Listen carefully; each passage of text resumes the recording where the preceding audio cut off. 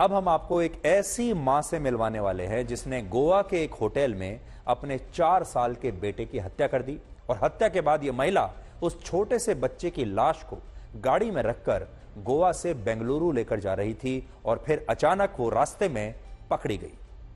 इस खबर में आपको भारत के नए समाज का असली चरित्र दिखाई देगा और हम चाहते हैं कि इस खबर को आज आप बहुत ध्यान से देखें और इस विशेषण की शुरुआत इस तस्वीर से करना चाहते हैं जिसमें यह बच्चा इस महिला की गोद में आपको नज़र आ रहा है। लेकिन अब पुलिस ने इसी महिला को इस बच्चे की हत्या के आरोप में गिरफ़्तार किया है। इस महिला का नाम है सूचना सेठ और यह महिला बेंगलुरु में रहती है। उनतालीस वर्ष की सूचना सेठ और उनके पति कुछ समय पहले ही अलग हो गए थे। उन्हें तलाक लेने के लिए उन्होंने अदालत जाने का फैसला किया था। कानूनी प्रक्रिया तलाक की चल रही थी, तलाक हुआ नहीं था, लेकिन ये दोनों अलग अलग रहते थे। और इस प्रक्रिया में इस महिला ने बच्चे की कस्टडी खुद ले रखी थी, यानी बच्चा माँ के पास रहता था, क्योंकि बच्चा छोटा था, सिर्फ़ चार साल का था। और ऐसे मामलों में जब बच्चा छोटा होता है तो वो माँ के साथ ही रहता है। और इस महिला ने यह कहा कि वो अपने बच्चे को उसके पिता से, यानी अपने पति से कभी मिलने नहीं देगी। लेकिन बाद में उसके पति को अदालत से यह अनुमति मिल गई कि वो अपने बच्चे से मिल सकते हैं। तो यह तो कानूनी प्रक्रिया प्रक्रिया इन दोनों के बीच में चल रही थी। अदालत ने यह भी कहा कि इस महिला का पति हर हफ़्ते रविवार को अपने बेटे से मिल सकता है, लेकिन यह महिला यह बिल्कुल नहीं चाहती थी कि उसका पति उसके बेटे से मिले। इसलिए वो अपने बेटे के साथ 6 जनवरी को, इसी 6 जनवरी को गोवा चली गई और एक होटल में रूम ले लिया और वहीं उसने अपने चार साल के बेटे को गला दबाकर मार डाला। उसने बेटे को, बेटे की हत्या के बाद अपनी कलाई काटकर खुद भी आत्महत्या करने की कोशिश की, लेकिन उसका मन बदल गया और फिर उसने बेंगलुरु वापस लौटने का फैसला किया। और अगर होटल के कर्मचारियों को शक ना हुआ होता तो शायद यह महिला बेंगलुरु पहुँच भी जाती। तो अब आपको यह बताते हैं कि महिला को पकड़ा कैसे गया। यह महिला शनिवार को होटल में रुकी और अपने बेटे की हत्या के बाद रविवार को इस महिला ने वापस बेंगलुरु जाने के लिए एक टैक्सी मंगवाई। लेकिन वो जब अकेली होटल से चेकआउट कर रही थी तो होटल के स्टाफ को शक हुआ। होटल के स्टाफ ने उनसे पूछा कि उनका बेटा कहाँ है?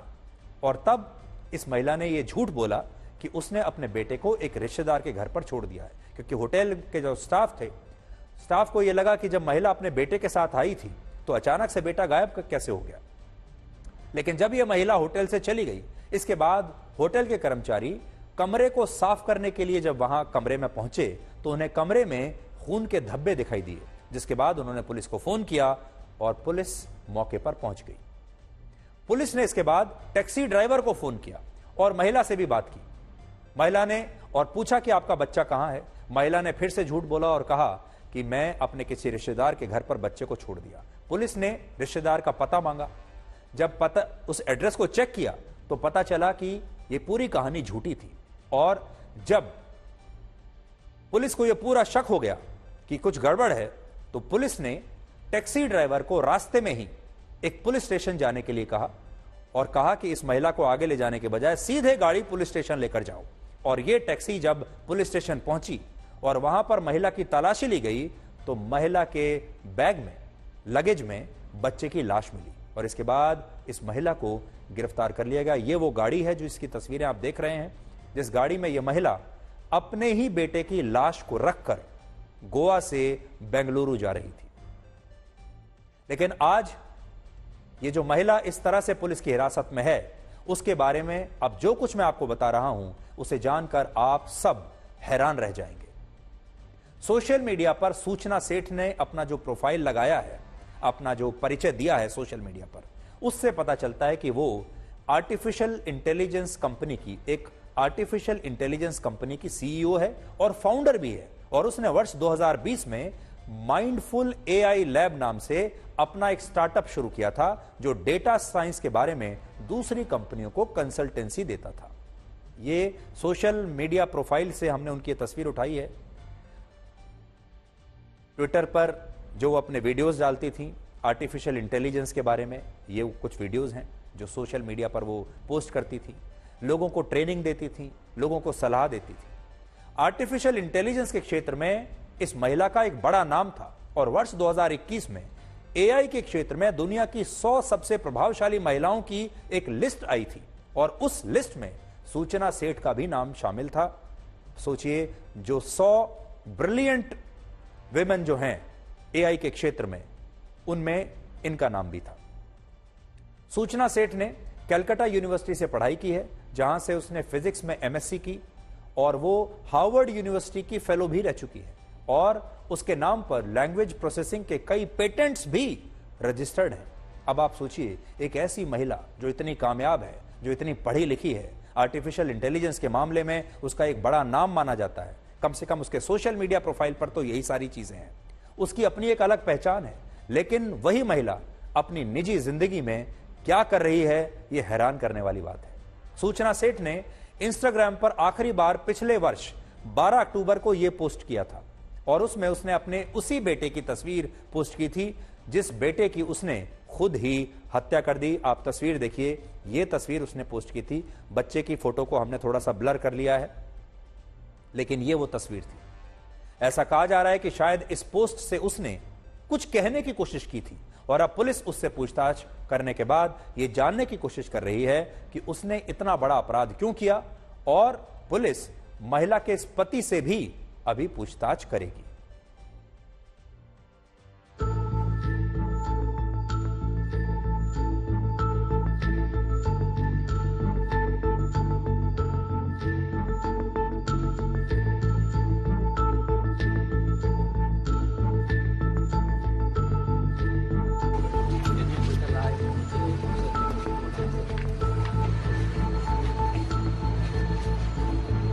लेडी ने ये बोला कि वो जो बच्चा है, वो उन्होंने माडगांव में किसी फ्रेंड के घर पे थोड़ा दिन रहने के लिए छोड़ा है।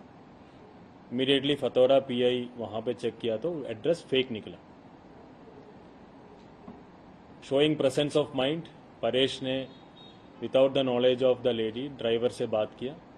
और ड्राइवर के बोला ड्राइवर से ये इन्फॉर्मेशन पास किया कि immediately the taxi has to be taken to the nearest police station जब इनके लगेज ओपन करके देखा तो उसमें बच्चे का डेड बॉडी मिला।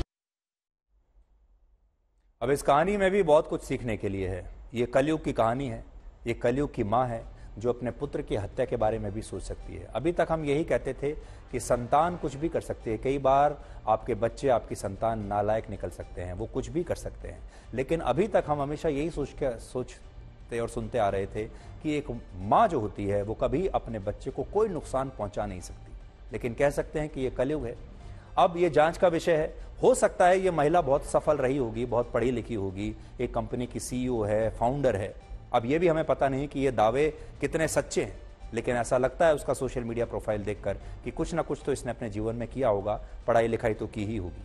अब एक बड़ा मुद्दा यह हो सकता है कि हो सकता है कि ये महिला डिप्रेशन में रही हो हो सकता है कि इसका मानसिक स्वास्थ्य शायद ठीक ना रहा हो, ये सारी बातें जाँच के बाद हमें पता चलेंगी। लेकिन जब इस तरह की जो घटनाएँ होती हैं, वो जितने भी लोग ऐसी घटनाओं को सोचते हैं, देखते हैं ऐसी घटनाएँ रिश्तों को कई बार कमज़ोर करने का काम करती हैं। और कई बार ऐसी घटनाओं से सीखना भी चाहिए। तो हमारा मकसद आपको ये खबर दिखाने के पीछे ये नहीं है कि इससे आपके रिश्ते कमज़ोर हो जाएँ। हमारा मकसद ये है कि इससे आपको शिक्षा लेनी चाहिए। सोचिए जिस देश में माएँ अपने बच्चों की लंबी उम्र के लिए निर्जला उपवास रखती है, उसी देश में एक महिला अपने चार साल के बच्चे का गला घोटकर उसकी हत्या कर देती है। हमारे देश में कहा जाता है कि पूत कपूत हो सकता है, लेकिन माता कभी कुमाता नहीं हो सकती। यानी पुत्र एक बार के लिए अपनी माँ को छोड़ भी सकता है और उसका बुरा भी कर सकता है, लेकिन माँ कभी भी अपने बच्चे के लिए बुरा करना तो दूर, उसका बुरा सोच भी नहीं सकती। लेकिन इस घटना में एक माँ ने ही अपने चार साल के बेटे की हत्या कर दी है।